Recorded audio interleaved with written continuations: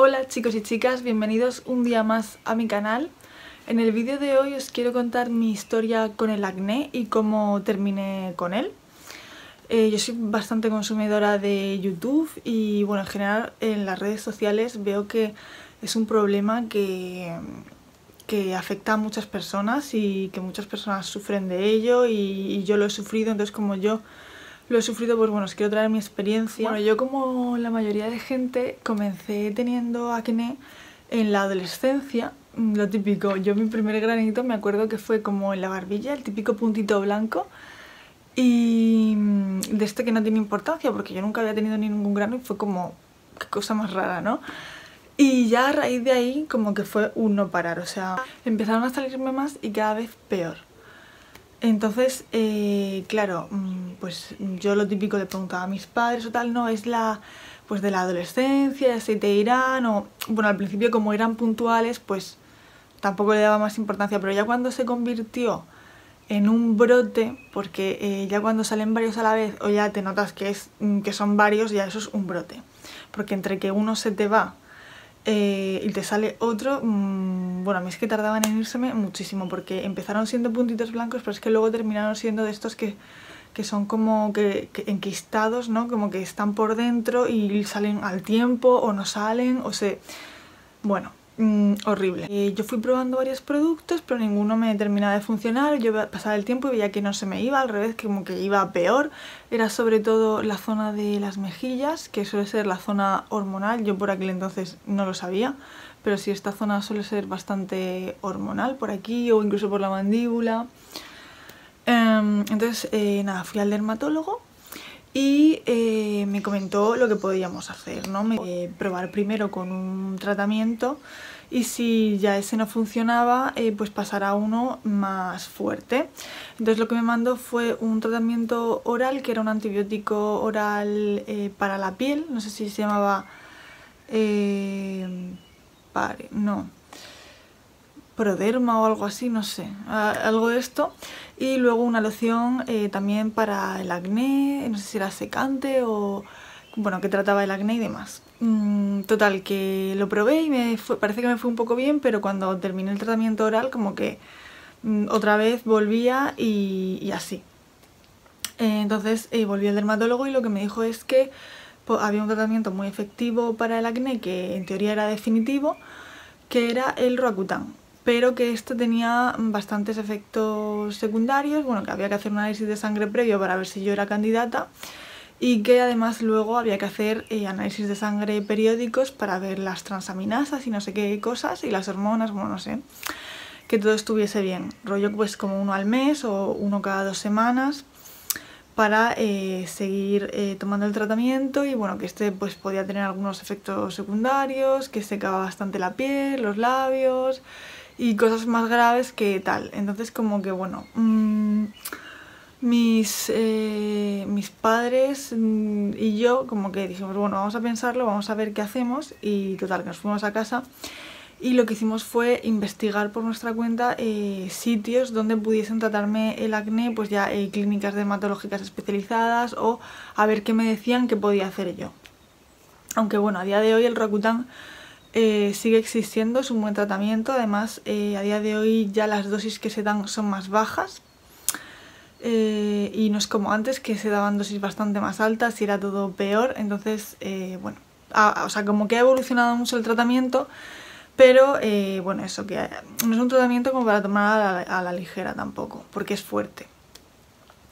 Entonces lo que hicimos fue investigar en Cartagena los sitios que, las opciones que había allí y eh, bueno, llegamos a la conclusión de que la mejor opción era la que nos ofrecían en Corporación Dermoestética, que ya no existe, no sé si algunos os, os acordaréis, era una clínica de medicina estética y cirugía estética y además bueno, yo la tenía al lado de casa, así que me venía genial para los tratamientos y todo, porque como eh, bueno, solía salir así con la cara un poco tal, pues me venía genial porque estaba, es que estaba al lado. Um, entonces el tratamiento que me proponían allí era un tratamiento eh, basado en peelings, principalmente de ácido glicólico, que lo que van a hacer es eh, ayudar a la renovación celular y eh, son, los peelings son queratolíticos, entonces lo que hacen es como que el poro no, se tapone, mm, ayuda también con las cicatrices y las marquitas a, eh, a, secar también lo que es la célula sebácea, bueno, todo eso entonces nos lo vendieron así súper bien, además bueno, eh, limpiezas y luego también un tratamiento con luz pulsada que al final a mí no me hicieron porque en teoría yo no tenía la bacteria que, que mataba esa luz, que era la P. acnes o algo así, si no recuerdo mal. Porque claro, lo mío, ahora lo sé, era hormonal. Entonces claro, era muy difícil de, de erradicar cuando era, o sea, tú lo puedes tratar y puede mejorar mucho el tema, pero si es hormonal, complicado. Pero bueno, el caso es que el tratamiento consistía en eso y luego en unos productos que tú te llevabas a casa, un limpiador, un tal, un preparador también con ácido glicólico para que la piel eh, se fuese preparando eh, y tú lo hacías en casa. Y los peelings iban, iban siendo como graduales, iban de menos concentración a más concentración, o sea los primeros eran más suaves y eh, y al principio me dijeron que podía notar como un efecto rebote de que como que el peeling está actuando y como que sobreestimulas a lo mejor la célula sebácea y hay un pequeño efecto rebote pero que luego va mejor. Bueno, total, eh, yo ese efecto rebote mmm, creo que no lo tuve porque yo ya fui teniendo la cara bastante mal, entonces como que, mm, bueno, eh, entonces eh, hubo algunos peelings que sí que me los hicieron bastante fuertes y salí como con zonas eh, bastante enrojecidas y algunas como más quemadas, sobre todo pues eso, las zonas que tenía peor, ahí se ve que les daban más fuerte, bueno, me lo ponían como por toda la cara, pero sobre todo por esta zona de aquí, incidían más, que era donde yo tenía el problema. Un peeling al mes aproximadamente y se iba combinando pues con, con las limpiezas y bueno, de vez en cuando alguna mascarilla hidratante como para calmar la piel, pero bueno, lo importante, importante del tratamiento eran los peelings y el tratamiento en casa y por supuesto la protección solar que era a diario y reaplicármela. Yo me acuerdo que iba al colegio y me la ponía cuando iba y cuando salía era obligatorísimo mmm, meterme en el baño y ponérmela antes de irme a casa de los 10 o 15 minutos que iba andando a casa. O sea, tenía que ir con la protección solar porque, claro, era un tratamiento que agredía la piel y no queríamos eh, provocar más manchas, lo que queríamos era mejorar. Entonces, claro, lo seguía todo a rajatabla. Porque además eso me dijeron que, que, si no hacía lo de la protección solar, o sea, como que era súper importante. Entonces mi piel eh, con este tratamiento mejoró bastante. Eh, mejoró mi acné, mejoró, mejoraron las, eh, las marcas, las, eh, todas las marcas que van quedando, que al principio son como rojas y luego tornan como a marrones, liláceas, hasta que se quitan. Las que son de color, que son como de un grano, digamos, más reciente, Mm, pues, pues me mejoró, pero no se me terminaba de ir. Entonces creo que fue en otra revisión con el dermatólogo, que por cierto, como que los de, algunos dermatólogos, no todos, estaban como en contra de este tipo de tratamientos que son así como más estéticos que te haces en clínicas, no sé, bueno, yo cuando le dije lo que me estaba haciendo como que, eh, no sé, no, yo noté que no les gustaba, no sé, bueno el caso. Entonces, eh, bueno, me, me, recomendó tomar la pastilla anticonceptiva, que bueno, también es un tratamiento que se hace hoy en día y que mejora bastante. A mí me mandaron una en concreto, que creo que se mandaba antes mucho, no sé si ahora se seguirá haciendo, la verdad lo desconozco, que era Diane 35, me acuerdo perfectamente. Y eh, yo aquí estaba a lo mejor como con el año o año y algo de tratamiento, o sea, ya a punto de terminarlo, el de Corporación Dermoestética.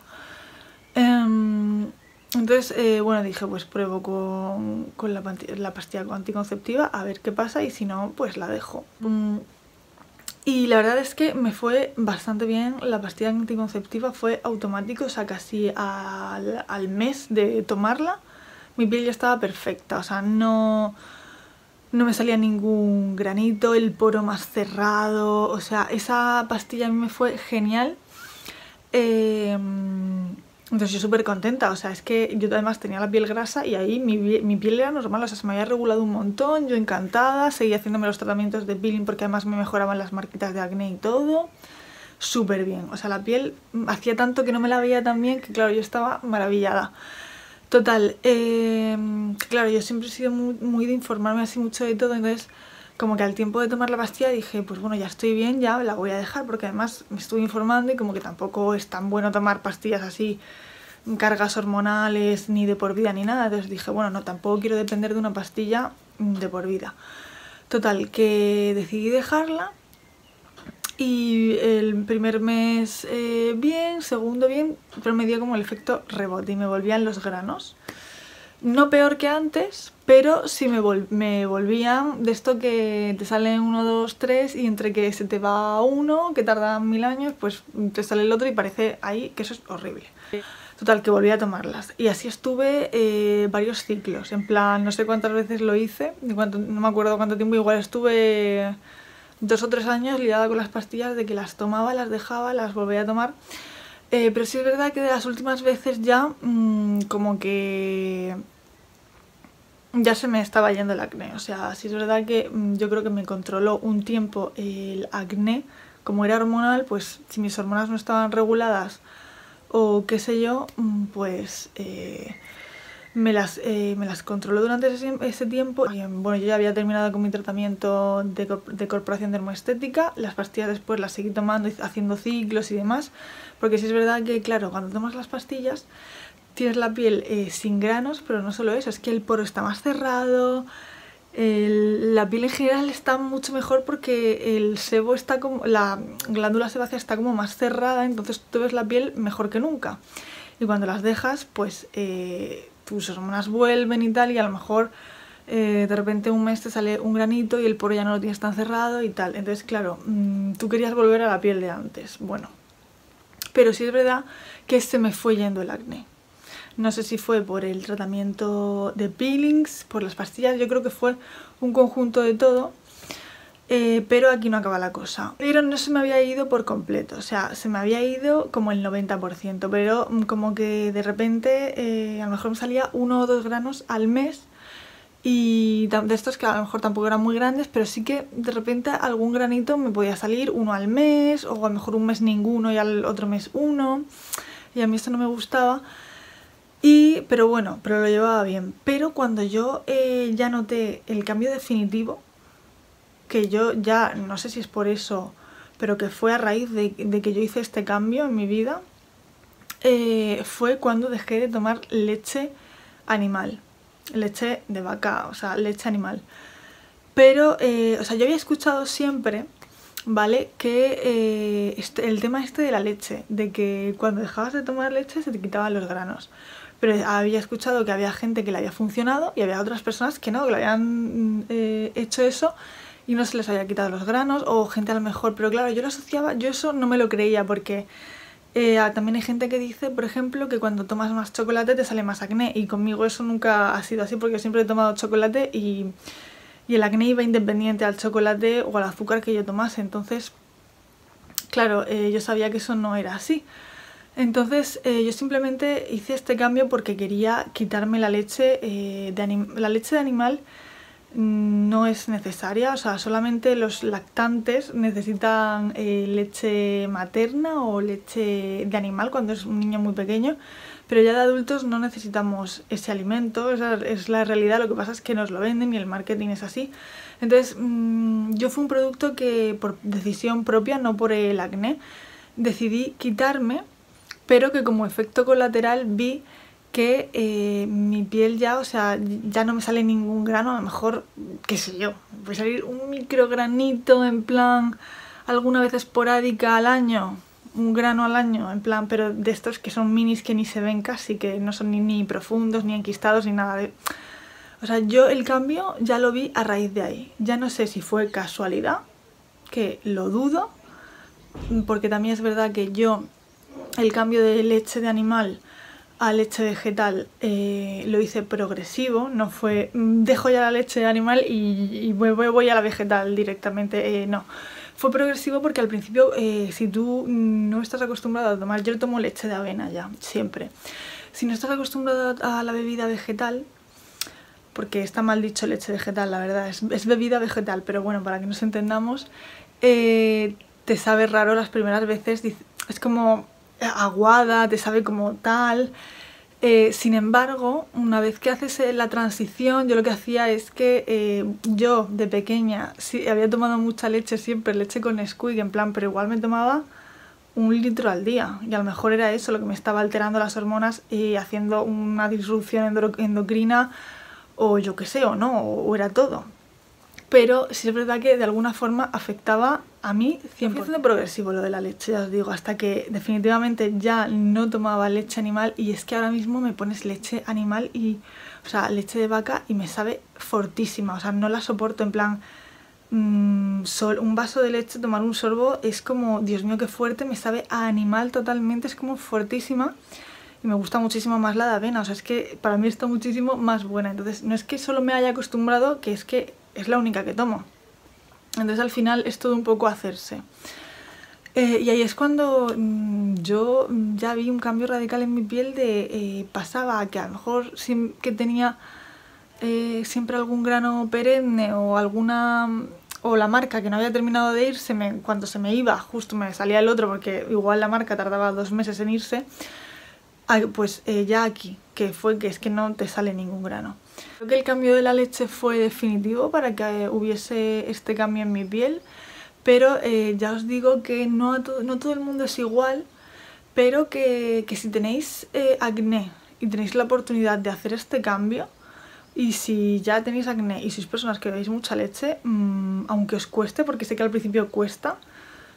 intentad hacer esa transición. Eh, yo creo que como mínimo os va a mejorar, si no os lo quita. Eh, ya os digo que eh, puede ser que funcione, puede ser que no, porque yo he escuchado de gente que se quitó la leche por completo y le seguía saliendo acné. Entonces yo creo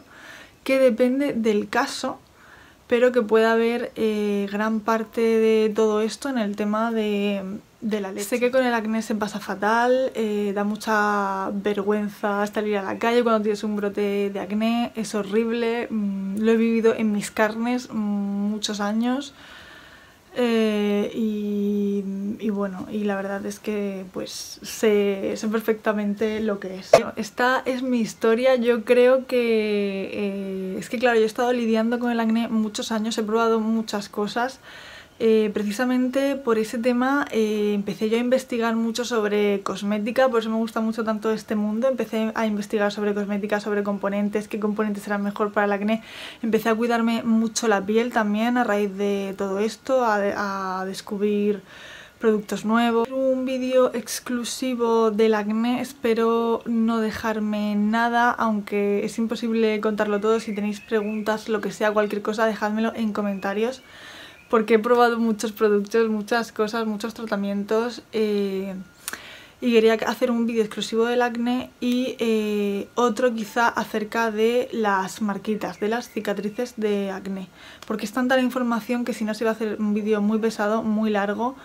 pues espero que os haya gustado y os haya servido mi experiencia para,